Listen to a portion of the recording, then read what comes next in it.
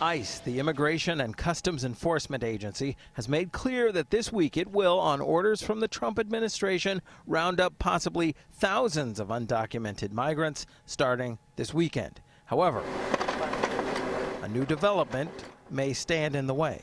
27 pages of paper could block ICE from carrying out the raids. It said it's planned in 10 major metropolitan areas, including our own, the largest in the country, of course. So it is here that this lawsuit is now in a judge's hands. We just chose to file it in New York, where there are, you know, tens of thousands of immigrants, and who knows how many of them, and how many more tens or hundreds of thousands of families uh, will be impacted. The suit is specifically against ICE as well as the U.S. Attorney General.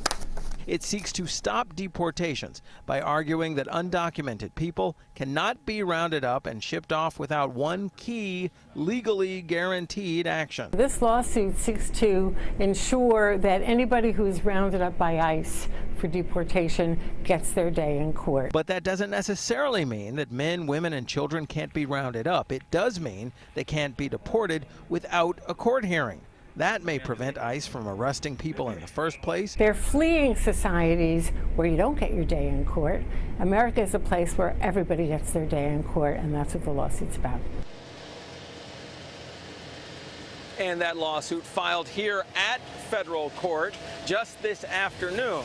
Still awaiting a judge's decision, which could end up delaying this whole process altogether.